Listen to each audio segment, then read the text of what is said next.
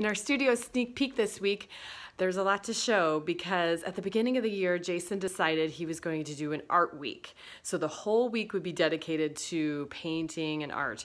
Um, and he's got four paintings going right now and another one he's starting today. Of course, with oil paints, you have to let them dry, so you can have multiple projects going on at once.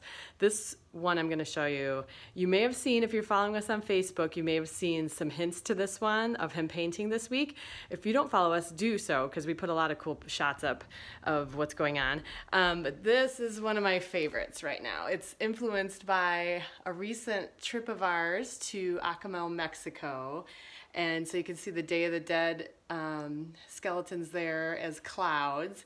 But check out this sky. I mean, the colors there and the layers and the water. I mean, I don't know what I love most. That one is really turning out really cool. And he's got a couple other little ones I'll give you a little peek at that he's working on. Um, I moved these for the sake of the video and got paint on my hands. So that tells you how fresh all of this is. It's pretty exciting to see.